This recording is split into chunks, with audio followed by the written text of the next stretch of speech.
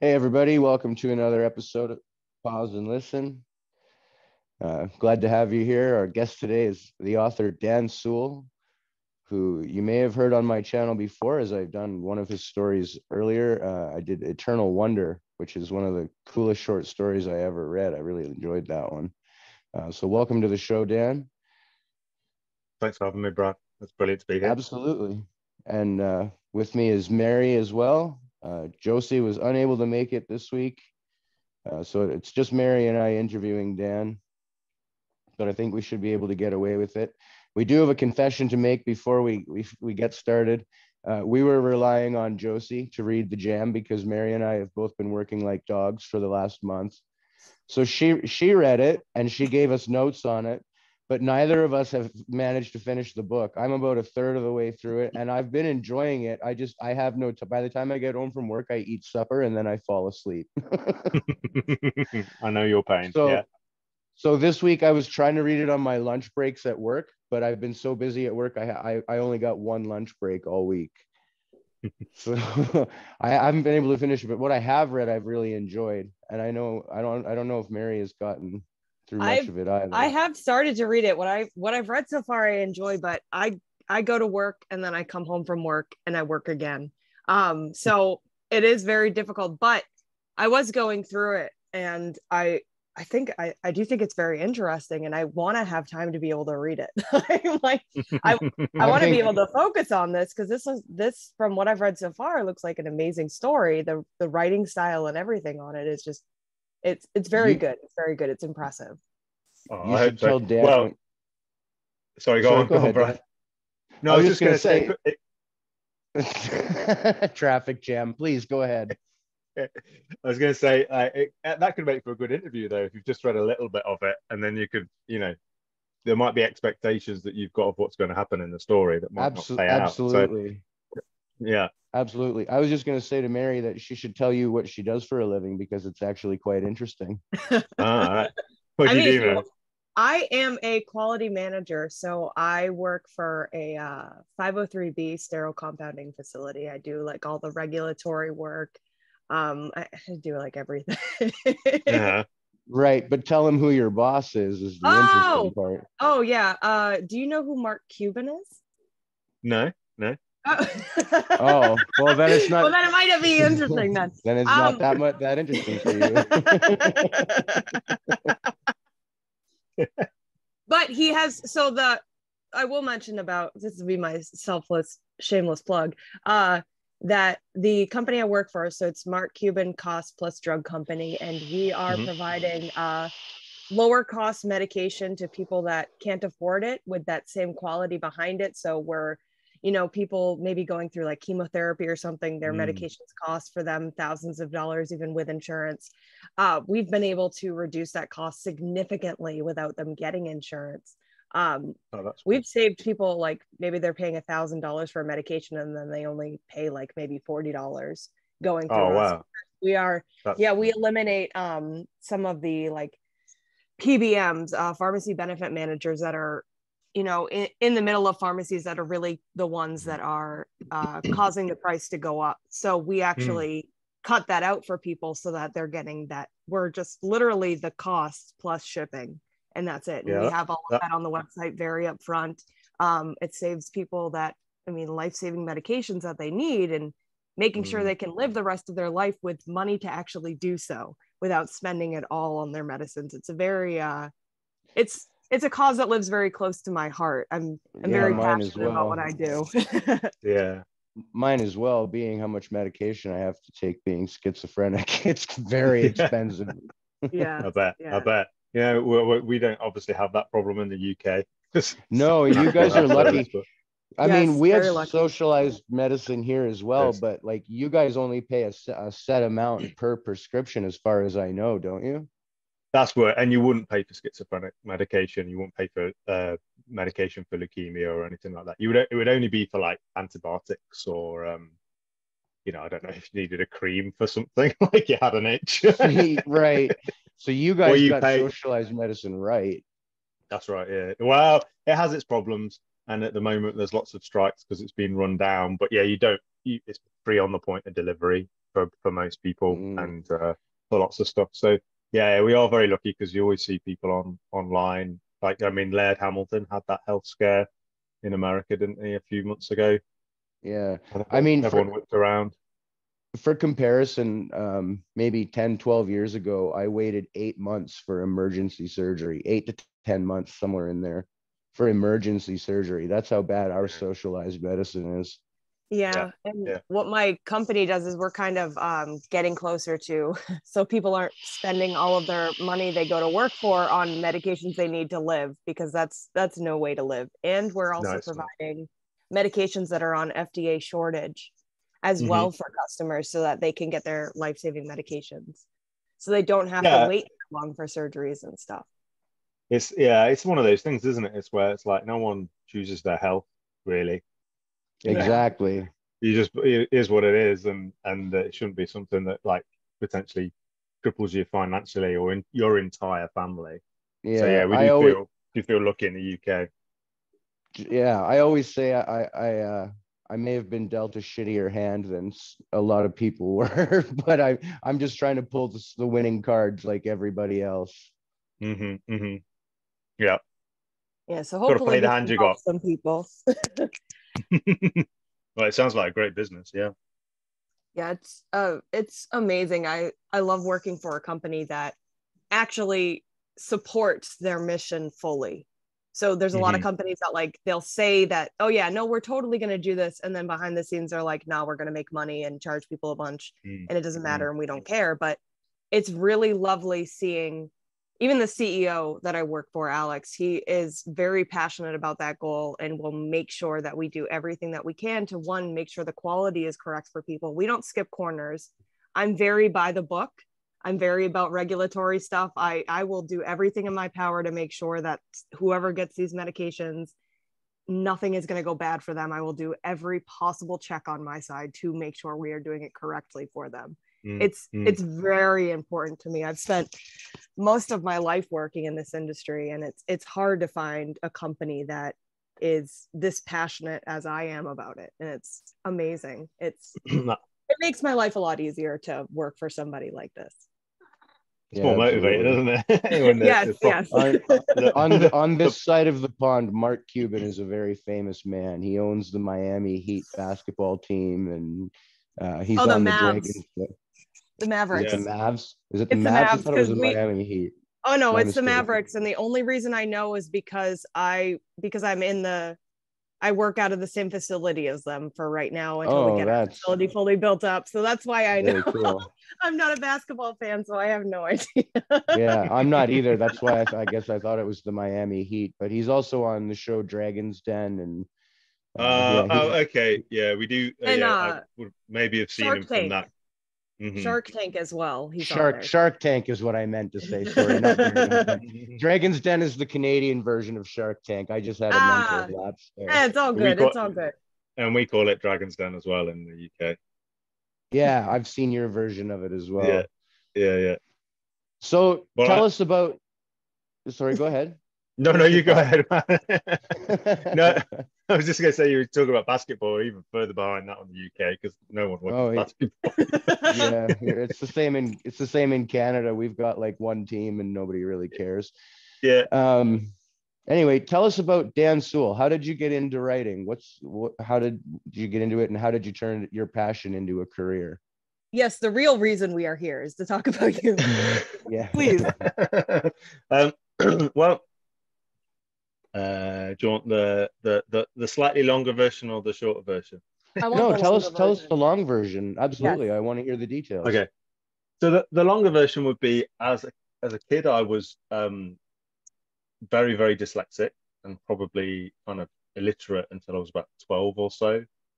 Um, but I had a mother that was um, an English teacher, a high school, you would call it a high school English teacher, I think. Um, and in the end, she was a headmistress and stuff and r- ran the high schools and stuff. But um, so I kind of, and my dad trained as a history teacher, uh, but he's a he's a potter, and that's just just to say the kind of context of it was it's like I was rubbish at reading, but we always went to plays and we always talked about movies and theatre and books and stuff like that. And my house was filled Mhm. with books. I just couldn't read them. They were like these. I have this memory. My mum had a, a kind of room in the middle of the house. It was her office, and literally it was just it was a big room, but just one wall was all just books from floor to ceiling, um, wall to wall. And I just remember like standing in front of it as a little child, like kind of thinking, "Oh, I, I wish I could read what was in those things and get Aww. the get get the meaning out the meaning out of them." But my mum used to read to me. She's like, because she was a, used to teach drama as well. She was a wonderful actress and would do all the voices and things like that. And um, so I, I, suppose I always kind of had a, a, little passion for that, but I really struggled with um, reading and writing uh, probably until I was getting into my teens. Like, you know, even when I could read, I was terrible. I would have a kind of reading age four years younger than my actual high school age, but I had right. like a working a working vocabulary four years ahead of my actual age as well. So it was kind of quite difficult because it was a big yeah, that's quite the juxtaposition. yeah, and um, yeah, it was a kind of like a story at high school where I would have to go to the remedial class. Um, they called it special needs back in the 90s. So ah, yes, yes. yeah. Right, where, uh, where where everyone that like for lots of different reasons had to go to that class and and it was um yeah, a bit humiliating. Not because of being with those people, just because, you know, obviously people will make fun of you for that.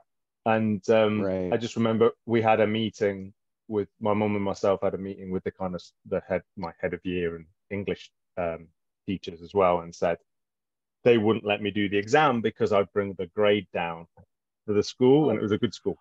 Wow. Oh, yeah, yeah. So bullshit. I, yeah, it's bullshit. So, but in, my mum's a bit of a fire, uh, you know, a bit of a dragon. And she was an English teacher herself and she knew all the rules and she was just like, well, you've got to let him fail, you know, and if you don't get let him try, how do you know? You're just assuming he's going to fail. Right. And I go, but he will, and blah, it would not help his confidence. And she's like, well, let me worry about that. And anyway, I did it, and I did really well. So, hell yeah, hell yeah, and, yeah, exactly.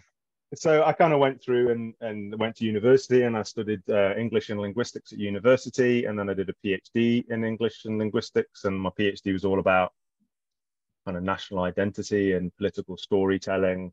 Um, oh, I didn't realize you had your doctorate. Wow, that's impressive. Yeah, yeah. There's got certificates behind just, to, just, to, remind me. Just to remind me. Uh, yeah, and um, it's like Ross Geller in Friends, you know, like not a real doctor. yeah. hey, it's um, it's real. It's real to me. It's, it's real. Yeah, what, absolutely. what you had to go through to get yeah. to that. The, the effort yeah, so, to achieve that. Wow. You're definitely yeah. So it was. It, it's kind of ironic um, that I end up ended up there. So because kind of by accident, my PhD ended up being a lot about kind of natural storytelling and political storytelling, um, and, and about national identity and stuff like that. And it all kind of links together in, in various ways. And then after my PhD, uh, I went on to be an academic for about seven and a half years. I worked in Scottish universities. So was, I think you would call it an associate professor over the. Okay. We would call it a lecturer, junior lecturer. And uh, yeah, I taught in graduate schools, and it was kind of funny. At the end of my PhD, I started teaching writing to other PhD researchers. And like the business I run now is I've been a freelance academic for about 10 years now, getting on for 11 years. And I kind of teach all over Britain and Ireland, and I go to Norway. I've taught at the University of Greenland. Um, wow.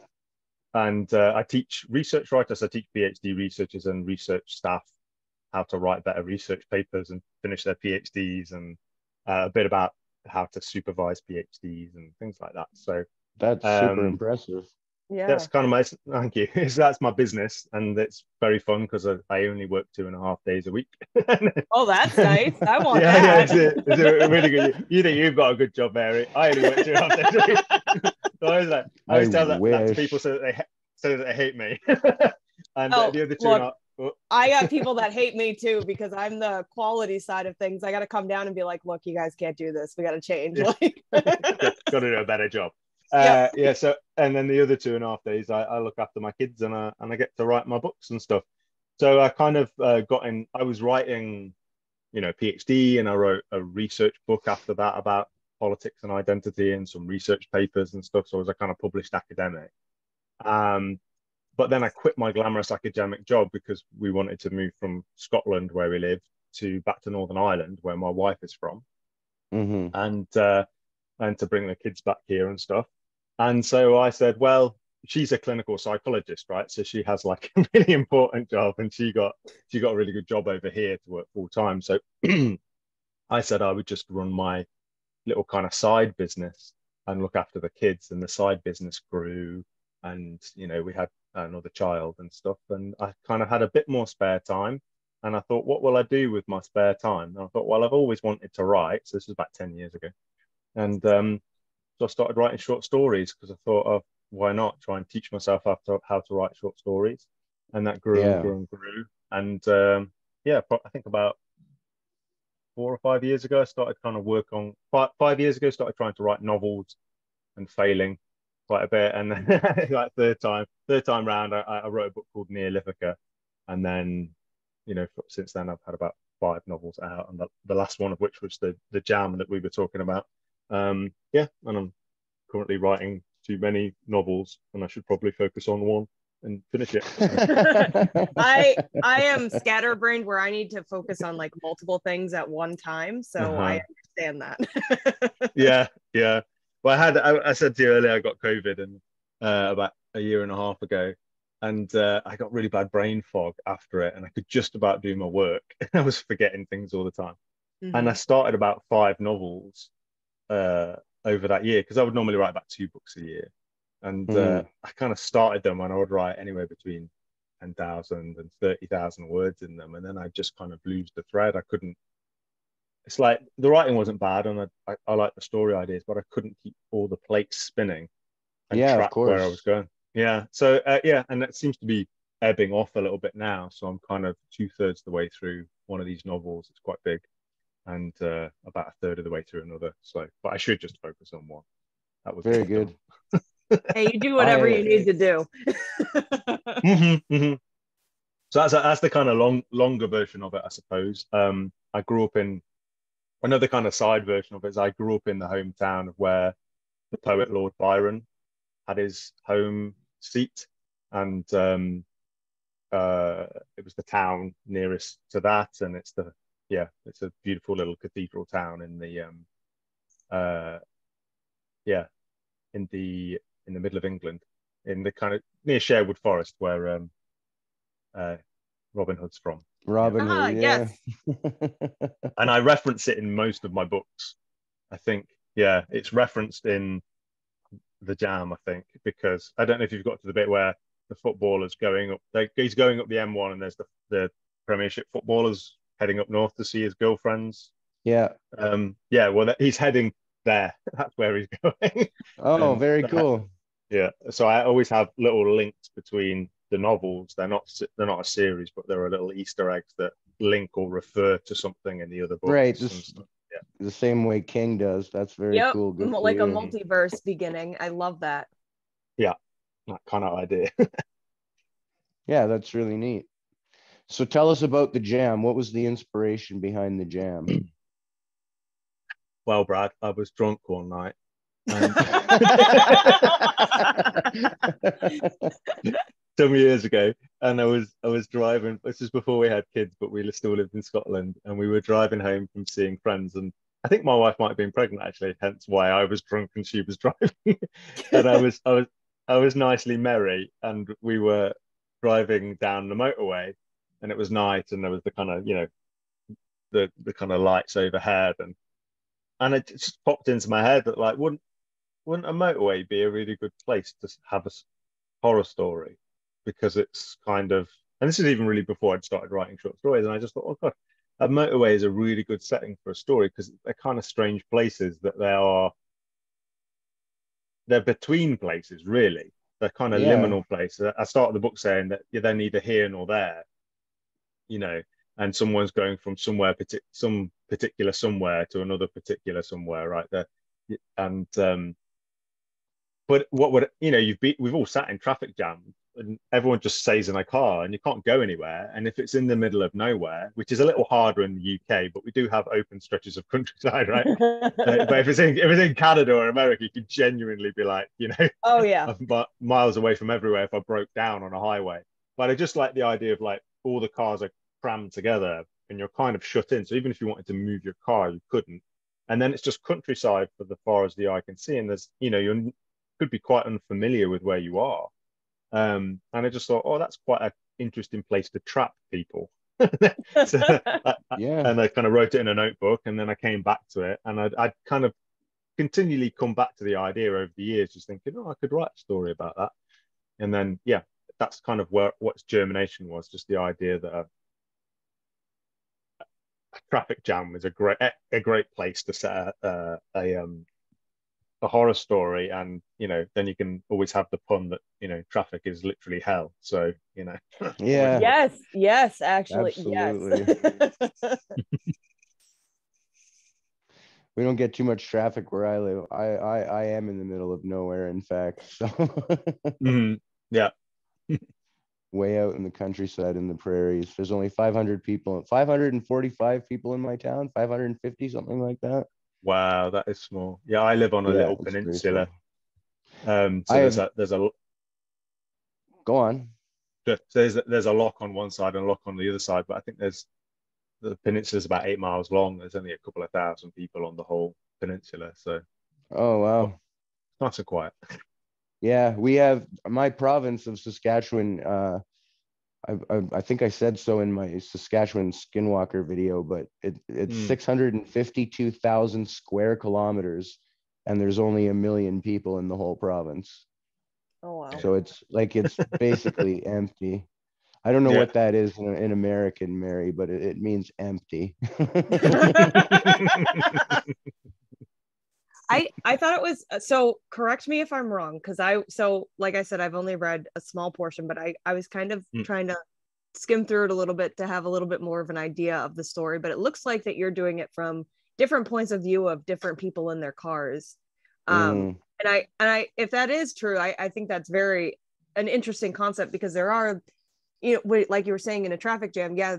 You don't know what's going on in other people, in Mm. other people's lives, what they're talking about, what's Mhm, happening, where mhm, they're going, and I thought Mm. that's a cool concept. Oh, cool. Yeah. Um, thanks. It, yeah, that, that was the idea. It was also another like a, a kind of convenient, well, a traffic jam again. Like you said, it, it's a, a legitimate excuse to put a bunch of people that normally wouldn't be together together. mm, You know, seemingly by accident, they are all. You know, so in the in the story, there's a Premiership football player. Um, there's an internet marketing guru slash shyster uh, who's who's fun to write. There's a family that seems a bit dodgy, like that something's not right with the, this mother and father and son, and the father's made them go on a in a camper van right. on a, on a Yeah. country road trip. Who else is there? Um, uh, yeah, there's a kind of someone who might be a prostitute um, hitching a ride um, with a seemingly very nice old doctor. Um, and yeah, I don't know if you've got to Vickers and Cordelia yet. There's a couple of other people that turn up later on. I haven't got that far yet, but Yeah, everybody yeah. else you've mentioned, I'm familiar with. Yeah. So, and then the whole point of it isn't no one is as they seem, you know, or no one is quite as they're they're projecting to be. And then, you know, the start of the book is, you know, each I think the first three or four chapters is like um, different people's points of view. They're driving their cars and they're all kind of driving away from something or towards something. And um, then the traffic jam stops and they all kind of come to a halt, braking hard. Um, and then, yeah, they're trapped there. And then some other things start to happen. And then they're kind of wondering what's causing the traffic jam. Because again, in a traffic jam, you can't, you can only see so far. And then Yeah. you're assuming, and all the radios are off, and um, no one's mobile phone is working. And so it's quite confusing. So people start getting out of their cars. Um, Yes, I've been yeah, waiting to find out why that is. I haven't gotten that far yet. Yes. I've only skimmed to that portion when people are like confused and stuff because I don't want to ruin the story for me because I do want to go back and fully read it because it does seem mm-hmm. very interesting. So I'm like, all right, I don't want to skim too far to get too much information because then I'll ruin it for myself. Yeah. Yeah. Yeah. Where do you think? You don't want to. Where do, have you got any guesses where you think it's going? I've none yet. I haven't gotten that far. Yeah. I I don't have any guesses. Um, what I might do, if this is okay, is when I'm Yeah. reading it, I might send you my guesses on Twitter as I'm reading it, and Oh, yeah, do it. That'd be See. fun. Yeah, yeah. See where you go. yeah, Yeah. Yeah. I love trying to guess where stories are going, like stories, movies, all that stuff. I love trying to figure it out as I'm going through it to see like if if I'm on the right track or if I'm totally wrong and then you threw me off the loop, which I also love. So I'm okay with either way of being right or being totally wrong, but I think it'll be fun Yeah. to do that through Yeah. it. okay, cool. Uh, let me know what you think of the doll when you find when you come to her as well. Oh, there's a doll. Oh, yeah, okay. there's sort of a, a doll I'll do pendant that turns up. Yeah, it's um. I'll do the same. I'll keep you posted on my progress. we could have a read along. Yeah, I, I kind of wanted the idea that um, you know you got all these people together and they wouldn't normally form alliances, and then they're obviously in a in a kind of uh, pressure cooker of what's going on. Um, but it it's difficult to talk about the book without spoilers because yeah, the for whole point sure. the whole point is you think one thing is happening and then you think another thing is happening. Um, but another idea behind the story was particularly from the family because even though it's an ensemble piece, I would say uh, more of what it is is it's Max's story, the young boy and the and his mum. So and they're in a kind of uh, you know if there's a kind of trigger warning for anyone, there is a kind of like domestic abuse element to the to the Yeah, I. I So- gathered that just from the Yeah. very brief introduction I've read of them. It, it definitely Yeah. seemed like that's where that was headed. So yeah and, and there's not lots of you know explicit descriptions about that element of it but it is referred to so it's just always make people aware of stuff like that.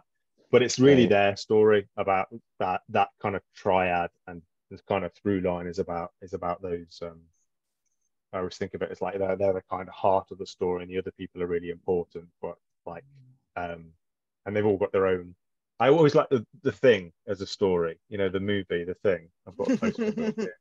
And i love how that's an ensemble cast and they've all got their own motivations um but you know you do have a central character in it that's kind of driving the action so I actually like that you put something. Um, I haven't gotten to this part yet, but you're you know you're saying the trigger warning about the domestic Mm. abuse and stuff, and I always think it's really interesting and shows a lot of how you are as a writer being able to put stuff like that into your stories and being able to add that element to it because obviously you know uh, i'm sure that you don't live this life but being able to put yourself outside of that and under Yeah, and trying to add exactly. that concept into a story i think is Mm. great writing and i think it's it shows how impressive you are and how far you've come as a well, right. And and being able to to write different perspectives and have them seem like completely different people instead of all you know, like seem sort of the same. That's Yeah. I don't know that I could do that well. So yeah, I, I really you. like your writing style. Oh, thank you. I, I mean, I think it's a it's a kind of it's a, a bit of a hot topic at the moment, I suppose. On well, on Twitter, so I don't know whether it's really a hot topic, but we chat about it. people people talk about it on Twitter, don't they? And I, I suppose on one extreme, people talk about cultural appropriation, and there's there's Mm. that element of it, and then the other side is like, you know, you can't you can't write this perspective or you can't write that perspective. Some people believe that, obviously. I'm Yeah. of the other that I think you can or you sh- like writing should be empathetic. Mhm. Like if you're doing it reasonably Absolutely. empathy is the heart of of writing and uh, of telling stories. And I think if you said, "Oh, Dan, you can't write someone from a um, this perspective or that perspective, that kind of background," I'd be a bit like, "Well, you know, like it's impossible. You couldn't ever represent their experiences of life." I would say, "Well, that that's a, kind of a sad world that's not got any empathy in it. Right. It's almost like a kind of well, maybe the worst kind of dystopia that if, if you're saying that there's no empathy but i do think there is a legitimate thing about you know that it's possible to like culturally appropriate something or to make Mm. a crap crap job of Oh, writing yeah. from someone's point of view and i think that kind of comes down to it. Yeah, It's like no you know I, I just did a bad job at it it's not it's not that i appropriated the point of view it's just that i was rubbish at doing it you know? you know, I didn't do my research or I didn't um try to get inside their head enough and think from their their Right. point of view. Yeah, and again, uh, some of that I think is research and familiarity, and so the, I can I can well imagine there are certain types of character I probably would think twice about trying to represent, just because maybe that I don't have anyone in my life that I can kind of think about and go, oh, you know, could I, could I really do that? Um, or you know, I'd have to go to the library and read a lot, you know, or something like that. Go watch Yeah. good movies and and things like that. Um, but yeah, empathy. I I think it's quite important. I think as long as you have the, like you're saying, the research and you have those good intentions of what you're trying to do, I think it's Mm. important to add that into stories because there's people that are living lives with those type of situations involved. And it also opens up more readers' eyes when they are exposed to those types of situations. I and this is Mhm. going to be a uh, this is going to be a maybe a hot topic but um i i think it's good to expose people to those types of situations and not kind of wash everything oh everything's yeah clean you because yeah i mean, they need to have that type of perspective in their lives to understand why they should maybe care about you know maybe for example like you're saying like the domestic abuse why they should care about those types of situations and i i think it's important to include those in stories so i i'm it makes me more excited to go through the story and read it now to with Mm. that kind of in mind Mm. and stuff you are putting those different perspectives in there Yeah, Yeah. I mean, I hope so. I hope so. Like, because otherwise, where are the stakes? Where are the emotional stakes? If everyone Exactly. is like, "Oh, I'm pretty happy and sorted out," you're like, "Where's the emotional growth?" then? like, not, that ev- not that every chapter needs emotional growth. You know, I mean, Stephen King, the greatest of us all, oh man quite a lot of his, not all, but quite a lot of his characters don't go through, che- don't emotionally change through a story, right right right? There's, oh, the, and he, how, how many times has Stephen King written a plot twist? oh that's based that's based on a character revelation? Probably never. Yeah. yeah But he's still like, you know, absolutely phenomenal. Uh, but Yeah. it's it's um, but uh, you know, not that his, he doesn't have emotional growth, but his his characters were already very very fleshed out and stuff. It's just his he's very he's also though he manages to do a kind of cool trick where it's like re- I think like lots of layers to character yes um, but he doesn't necessarily always tether the, the the need for a character change to plot, right? Like there's the plot and there's the people going through the plots, and Mhm. they're already rich and, and full character, but they're you know they're not necessarily trying to uncover um, like an emotional flaw. I mean, again, I can think of some.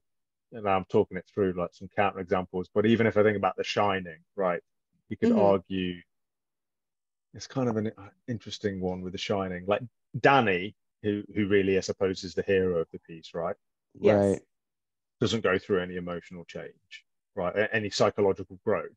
Like he's he's he's a good boy at the start and he's a good boy at the end, right? right yes He is who he is. His dad sort of does, and I suppose like there's a there's a kind of bit with Kubrick where Kubrick made obviously did his version of The Shining, and King never liked it and just and and Yeah. said like, well, um, Jack's already mad when he goes. But I think you can kind of read The Shining and go, Jack is already mad before he goes. like, yes like he's- I've, he's I've read both the it. book and I've seen the Yeah. movie, so I completely understand. you know, and I, I get it. Like, you know, Jack Nicholson is really in your face with the performance, and he Oh, already yes. seems a little bit. But I was kind of like, I thought in a way, I was like, oh, I kind of, nailed it. oh yeah like it's it's over the top but it's over the top in the best way possible like it's Yeah. yeah it's it's like tim Yeah. curry in uh in the original it movie like it's it's Oh way my over the top oh, but it's yeah, yeah. but it's yeah. brilliant Hello, Georgie. we all float down here. Yeah, Uh, one of them. I- love Stephen King and I've read all of those stories. I will have to say I I did like the book better than the movie though for The Shining. I did oh I did I- like it better. I do see what you're I saying though. agree. do I, what you're agree. No, I think the book is a lot better. The thing I also think is way re- what's really great about the book is that um, Jack's not a nice man, but you still have Yeah. lots of sympathy for him. Yes. like- yeah You know, that you, is you, you that know, is a weird sort of dichotomy isn't it yeah Yeah, yeah, and you don't get. I suppose in the movie, well, one, Hallorann doesn't survive in the movie, does he? But he does in the book, and he's quite important because otherwise you can't have Doctor Sleep.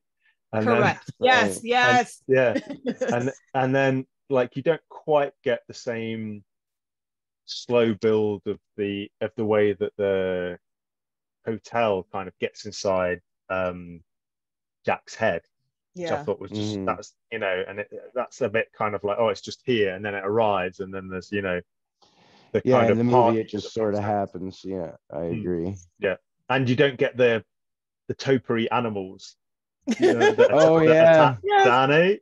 They're not in Yeah. the movie. Oh, and they were like the- one of the that best was- bits. And Yeah, Yeah. that was a shame. But they change like out, little details, like the things that he uses to like break down the door and stuff. Like they're there. I I notice all these little details because I I do feel like they, even though they seem like so small, I do think they're important to like the whole the story in a oh whole. yeah.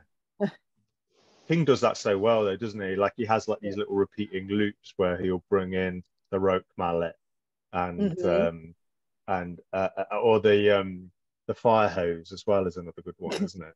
That, Yeah. that, that Danny thinks is a snake and it keeps coming Yeah. alive and stuff. And the topiary animals and he has these little things there. And the boiler as well. Oh Like the yes. boilers Yeah. Oh yeah, the boiler. Big big part of boiler- the book. So huge, yeah, and it- it's literally like a good ticking time bomb, but it's not in the movie. So.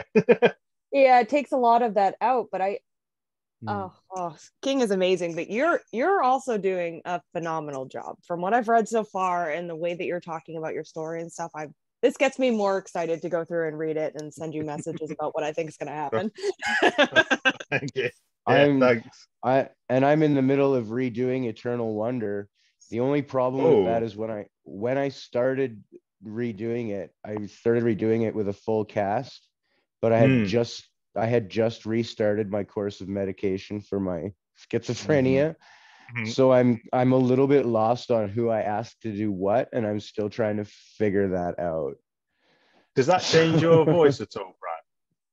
How do you mean? change your voices? Well, your voice because it maybe uh, like your voice now sounds a little bit different than your story voice. Yeah, well, I used to edit it just a little bit lower, and I I don't do Mm. that anymore. Um, but but I my narration voice, I agree, is different than my regular conversational voice anyway. Um, but yeah, I used I used to edit it just a little bit lower because Mhm. I thought it sounded better. But I, I figured out how to make it more more clear and add more bass to it without um, editing my voice lower, pitching it lower than it needed to be. So would would you post production lower it, or would that be something that you do as? That's what know, I as a kind of that's what I used to do.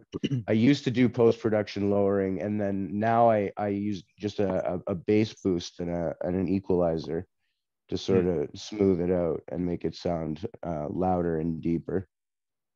Mm. Well, I love that reading of the story. It's great. I'm glad you enjoyed it. It's it's always nice to hear from an author that they liked Mhm. what you did with their work. hmm Were you doing something? Were you doing something with Richard Chizmar as well? I Yes. did I did do a Richard like, yes. Chizmar. I did do a Richard Chizmar story, which is probably as close as I'm ever going to get to doing something with Stephen King. Um, but yeah, I did a story of his called The Tower, which which was really cool. Uh, and I'm also my other big project that I'm in the middle of right now is a story with his with his son Billy. Um, Mm. uh, what is it called? Phantom Rain, and I'm in the middle of doing that one. Um, but I'm redoing that from my original recording because um, I decided to add another cast member, so I have to redo that one as well. Mhm. So, but my like I said, my new job, I've been there for a month, and it just it takes everything out of me. I come home and I Mhm. eat supper, and then I fall asleep on the couch. It, it's a it's a very very physically demanding job and I Mm. just I, I've found I haven't had the time or focus for anything else. I'm just exhausted. Mhm. So, So, I like even putting out short YouTube videos right now has been a struggle for me. Mm. Mm. well, I've noticed that you do um, a bunch of short stories, and I, I'm actually gonna go through and probably read all of them because I also voice act for Brad as well, occasionally for different stories and stuff. So she does. I'm interested in doing that more, especially on your work. Um, but I, I did notice that you provide those stories for free. I was looking Mhm. at your Twitter and I saw that and I was and I was I was kind of curious Quite a on few why you ones. chose that.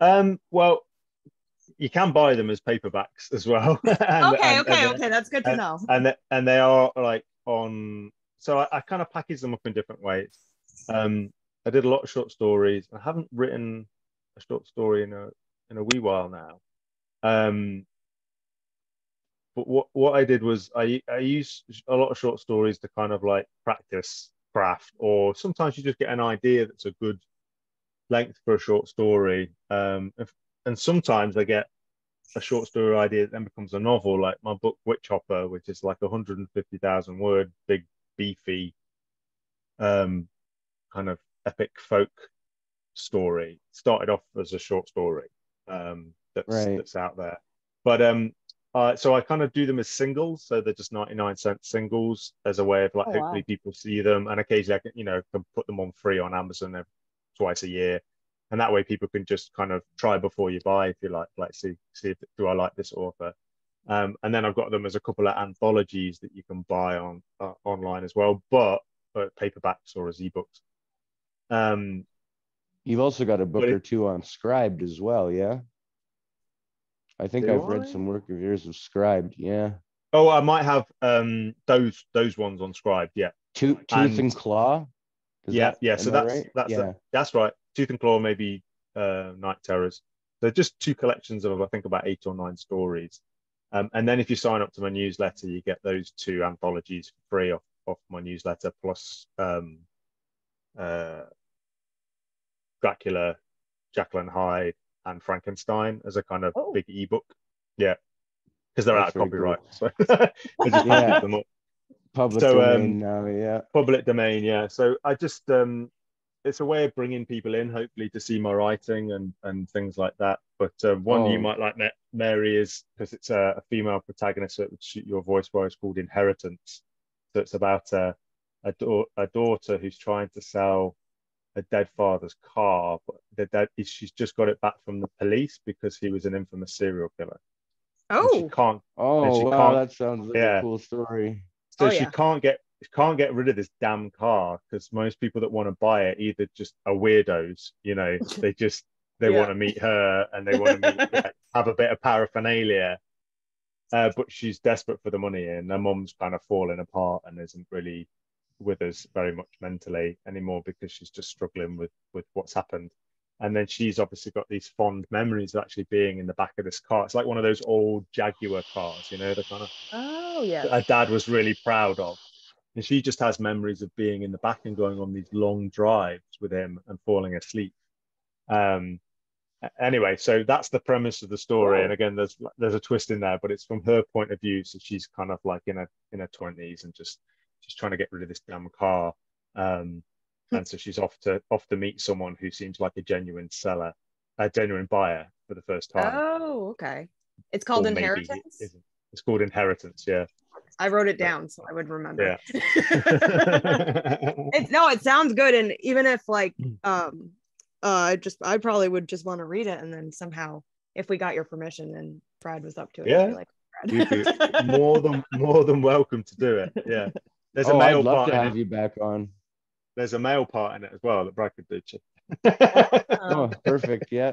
Yeah, Yeah. no, I'd love to do more more of your stories and I'd love to have you back on the show again in the future. oh, you'd be welcome to. Yeah.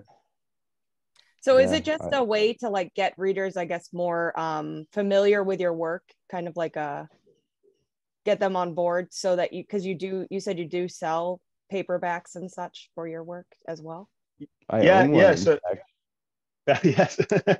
yeah. So yeah, Yeah. that's exactly what it is. I, I kind of originally did them as well. Most of them were published in were published in magazines. So various some of them are now defunct, but like little horror zines like Disturbed Digest and Sanitarium and Oh. Devolution Z, which was a good Canadian horror uh, magazine that was going for a while, but then uh, folded a few years ago. Um, so they, most of them have been out there and kind of were in fee paying markets, and then you get the copyright back after a little while. So I just thought I then use them as an anthology and I kind of get get get people out there as a kind of call it a reader magnet, I think they call it. Yeah. Um, so people sign up That's a to good your idea. newsletter. Yeah, Are you so it works quite well. I think it'd be good too if you're able to provide Brad with links to your work so people can go and if they want to purchase them or something so that he can add it to the video, that would be great. oh yeah, no, I do that. I um on Eternal Wonder, I've got his author page on Amazon. Okay, perfect. I just want to make sure. yeah. Oh, absolutely. I'm all about crediting people that I work with, Oh yeah. especially yeah, especially when they're like really good authors with a lot of work to to read through, like Dan. Yeah. So what kind of what would your kind of big um archetypal like epic story that you would go to for a read? Reread. Uh, oh, the Dark Tower series by King. I've I've Okay. read it probably three or four times already, and I I, I could read it again without a problem. It's it, absolutely his magnum opus. It, it's an incredible read.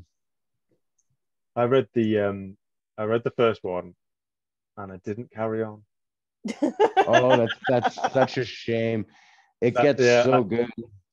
And that's what I've heard. I was like, no, everyone, you, you gotta you gotta read you gotta read on. Um You like, do. "Oh, I have actually so he's actually my favorite author, Stephen King, and I'm Hmm. going through reading all of his books in order that he wrote them. Uh, ooh, but I am- fun. refusing to read the Dark Tower series until I've finished all the books because there's so Ah. many different because I've I've heard so many different times that's what pulls all of the multiverse together. It it so I want to make sure I'm not missing anything because I'm I'm huge on books that tie into each other, even if it's just like a little slither of something that you were you were mentioning doing in your books, which makes me excited to read them as well. I love I love finding those little things in there that connect other stories that the author has written. I love seeing that stuff. Yeah. Yeah. I uh you know, I need to read the rest of the Dark Towers. I know I do. I finished Firestarter this morning. Firestarter was a good book. Yeah, I read that one I about hundred love- years ago, but Yeah. it's a great book. Yeah, it's a really, really good book. And then what am I reading at the moment? I'm reading um uh Summer of Night, Dan Simmons. oh yeah, That's, that's good. Yeah, that's really good as I've, well. I've I've never read any Dan Simmons, but I'm familiar at least. You've never read The Terror? No, Oh my God, maybe my favorite horror book I've ever ever. you said it's the terror. I'm writing this down right now. The Terror. Yeah. Oh, The Terror is like other another level. It's um yeah, it's just phenomenal. It's based on the Terror, the lost strips of the Terror and the Erebus. Oh, um, which were two British Royal Navy ships that were trying to find the Northwest Passage um, through uh, Canada, well, basically through Canada and Greenland, right? right. Um, and uh, Prince William, well, it's called Prince William Island now, right? But they used to call it Prince William Land because they didn't know it was because it was all under um, ice. And so famously, they were lost and no one knew what happened to them. And um, there was a, a kind of marker, a cairn that they left and said, We're here, we're camped, um, we're running low on rations. And then when rescue missions were sent to find them, they weren't where they were supposed to be. And the local Inuit tribes all said, You're looking in the wrong place. They've because they've got great oral history. They told stories of these crazy guys um, who ended up eating each other. Oh wow. So they commit. So they they found them, but by the by the time the local tribes had found them, they were mad, living out on the ice and eating each other. And they tried to show them how to kill seals and give them seal meat, and they chased them off with their guns and knives and stuff. Um, so the Inuits were like, they're not there. The ships aren't there. They're in these other places, but no one believed them for centuries because they were Inuits, right? And the, Mm. the prejudice of it all. But what Dan Simmons did, and a lot of people find Dan Simmons problematic because he's become a bit of a grumpy old man, apparently. But um, uh, but what he did is he listened to them, and so he kind of built the story around like the fact that they what they they got trapped in the ice, and he um, has them. The ice breaks up in the summer sometimes, and so and I think in the second summer he had them re-rig and sail a little bit again before they got trapped. And lo and behold, like I think in 2017, they finally found the boats exactly where he said he'd Oh, written that they were in the book, but he just based it on was what the Inuits said, and they, they and they found them Oh, with in crazy. the, in the end, the survey ships used local guides and looked where the local guides said that they were, and they found them straight away, really. Um, Oh, geez. but the story is that they're trapped in the ice, but there's this massive, preternaturally big um, polar bear hunting them as they're trapped on the ice. So, and the two ships are separated. So if you imagine they were sailing, they got trapped in the ice, they're separated by about a mile. So they, they have to get off the boats to go and communicate to each other. And Right. um, and but what really happens is like the um, the polar bear is like a secondary horror because the real horror is how the men slowly um, degrade both physically and mentally and socially on the ships and it gets worse and worse and worse as it, as they get trapped for longer and longer and they get scurvy Mhm. and there's just this amazing cast of characters like Dan Simmons' research was just off the chart good but it's never like it doesn't feel sometimes like you know when you read Moby Dick you're a bit like oh here's another 10 pages about whaling Yep. you know, that kind of high school feeling going, "Oh, this is hard, man. Right. Okay. Uh. so they're, cutting out the ambergris now, and now they're cutting, you know, five pages on how they like extract the blubber oh Um, yeah. and render it down.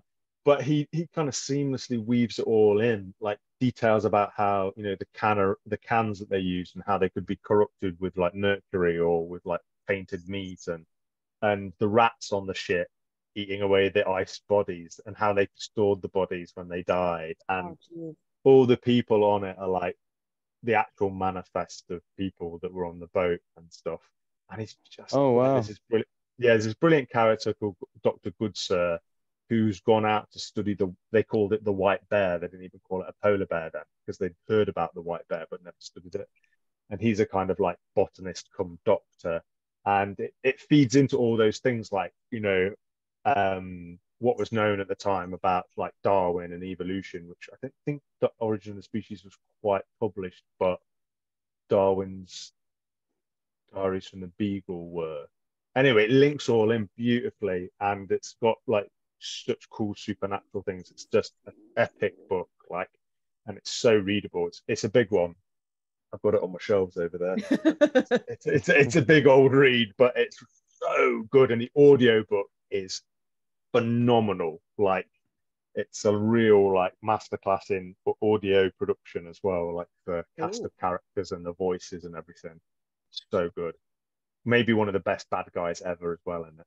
Yeah, Mr. Hickey, who's like a guy, he's like a a low level under the deck kind of sailor. And he ends up being like he's like a kind of real narky little man, and yeah, it's just fantastic. What a book. Okay, stop stop making me want to read this story Yeah. because I I Yeah. have other shit I have to finish first, like the jam. it says a lot about you as an author having these um these other books and a lot sounds like a lot of different books and a lot of different authors that you've read being able to go through all that and write i think it's it's probably it it shows that you're probably a very impressive so far author from what we've seen so far and it it shows that you're the different because you have a lot of different exposures to different types of writing and stuff so you're able to take Mhm. that and kind of form your own style of writing and your own version of it and i think it says a lot to you as an author Yeah, It's- I it's mean, I hope I hope so. I don't know if I'm any good, but you try. so far so far you Yeah, do seem good. you do seem that impressive so I, i, I, I, aim. agree with saying it I aim for. I aim for reasonably competent. That's what I aim. for. Hopefully, I can get there. But yeah, for cer- for sure. Like I, I think you've always got to. One of the things I love to do is like you know read a book. But normally when I'm reading, I pick. I try and like spot something that the writer does really well, um, and probably be- much better than me. And I try and like follow it through the whole book. You know, it might be how Right. they do character, you know, character through dialogue or something, or just the way they describe things. Um, and actually, I'm reading a non. I've got a non-fiction book on Audible at the moment, and the guy is blowing me away with like how good a writer he is. It's a non-fiction book called The Best Minds by Jonathan Rosen, and it's um, Mm. it's it's a story, and he's just his descriptions are just amazing, and it's about his friendship with a with a man who um uh well, actually was schizophrenic and um and it was about like their friendship from boyhood through to adulthood and what happened and how the mental health system treated his friend and um, all these things and how they grew up together. But it's a lot of it is like I don't know if you've ever read King of the World, Muhammad Ali Pulitzer Prize um, winning book. Can't remember who wrote it, but you get so much of like just like Americana out of it. Like you you you end up knowing loads about like the culture of the 60s in America, for example, or the 70s, and right. so he links it into all this kind of stuff. It's really fascinating. But he's just such a sensitive, you know, writer. Just kind of captures things and just little observations that are just amazing. So um, I'm going to probably have to go back through and get the paperback and then underline things. And then like try them out try try and try and emulate it but i think you've got to do that if you're going to get better. Yeah yeah i agree. I mean i'm not much of an author. I, have only written two stories so but i i can understand that's, what you're saying. that's how it starts brad don't it, it yeah i mean one or two stories and it grows. I suppose so. I, I am very proud of my Skinwalker in Saskatchewan story. I remember you sent you did send it to me, and I, I kind of started yeah. it. I need to get back to it. Yeah. I've uh I've tried. I have written a few um very short I, stories. Um, but I I by no means think that I am anywhere near as good of a writer as you are. Uh, I I feel like there's always room for improvement on things. Um, I mm. I have a problem with I guess coming to um obstacles as a mm. writer how how do you get over those obstacles? Is there an easy way for you, or do you have any tricks that you try to do? You mean what kind of obstacles would you mean, Mary? Like, like obstacles you, in the plot, or obstacles that you put in the way of yourself? Uh, I guess both. um, because I I've have it where like I'll come to I know usually when I try to think about a story, I try to think about it from sometimes I'll go from where do I want this to go, but then the story will end up mm-hmm. taking it in another direction. Obviously, sometimes the characters mm-hmm. they end up writing themselves of what they want instead of what mm-hmm. I want, which happen, mm. well, I've seen happen a lot with stories. But um, I'll get to a plot point where I'm like, I don't know how to move on from this, and I think it's. I don't know if it's because yeah. I'm focusing on it too much, or if you've if you've had to deal with that same thing and how you kind of get over that. Mm. Yeah, definitely. I mean, one way to think about it is like you know, fiction is all about obstacles because it's all about tension. So if you're getting obstacles, it's probably a good good thing. Like because if it's hard to get around, you're like, oh, if I can work out a way to get around this, that's cool. right. I That's my really thing is point. yeah, if you don't have an obstacle, you don't have tension, whether that obstacle is like a difficult person or a physical obstacle or an event. But you can sometimes write yourself into a corner. But remember, you're always allowed to write yourself back out of that corner or delete and then go, oh, I won't have it quite like that. Um, so, I mean, I remember Dan Brown had a great piece of advice, which was sometimes he what he would do is when he'd like written a character in a corner, he would he would write in block capitals, go back and find a way to get Robert Langdon out of this room. Close bracket, skip to next scene where he wants him to be. And then what he does is he goes back and he interviews like someone at the Louvre and goes, Is there a back door into the Louvre? Or like, is there someone got a master key? And then he kind of can go back and fix the story. There's what so there's there's a little bit. It might be like a technical thing, like you need to think think it through a little bit about where it's going to go. Some things mm. I tell mm. people is like, what is good planning is good editing, and vice versa, right?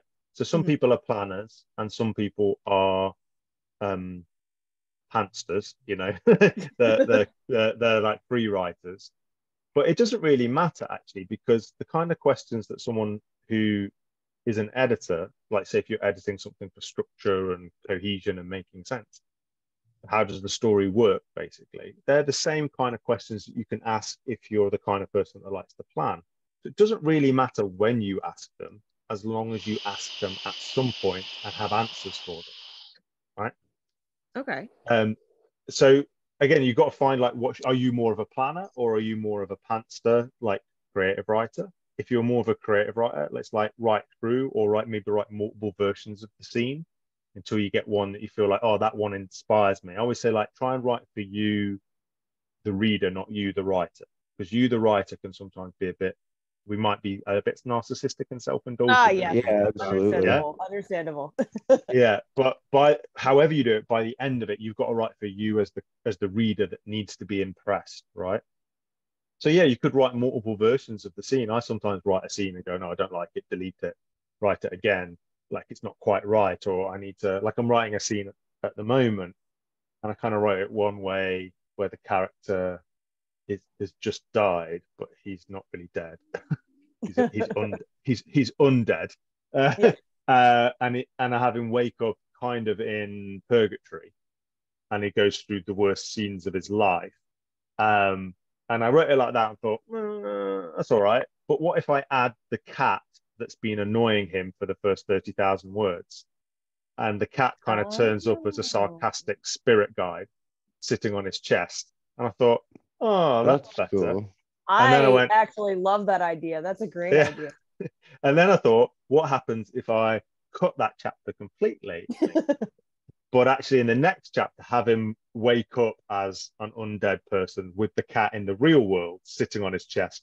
But now he can telepathically talk to the cat, and the cat can talk to him, and he's still as Oh. sarcastic as he thinks it. So you see, I just kind of kind of like, oh, I could maybe even maybe I'm just backfilling this story so I know it. Does the reader need to know it? How does it work with the next scene? So there's that element of it. Like you can just try it different ways because it doesn't, you know, it takes time, but it, you know, you're just trying to get the best version of it that seems to to flow. Right. Right. Another way to, another way to look at it is you've got sometimes people make a distinction between plot and character. I tend not to. I tend to think like, you know, um, a a plot is just usually a- an element of the external world that then affects the character. And if you didn't have the two, it- you wouldn't really have a story. Mhm. So, Right. like the, the external world, whether it's a, an event again or or another person in the book, applies force in some way to that um, character, and they they within, like you said, Mary, you know you're writing well if the characters start writing themselves, You- and you wanted them to do certain things and they won't. Well, then you need to take that on board and think, okay, so what? How would my characters react if I did this to them?